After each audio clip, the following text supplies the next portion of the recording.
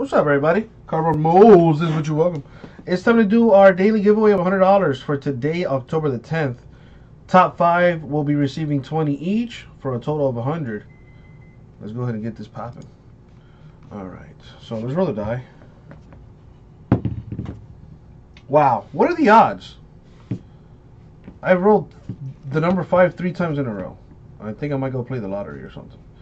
Anyways, there is the random on the screen. I'll be honest, today sucked. Not many purchases for whatever reason. Well, all that means is that these folks have a chance to win some moolah here today. Top five get 20 each. We're going five times in the random. Good luck. Now, we've got only 13 purchases made today, the 10th. Wow. What are you going to do? And the money shot five.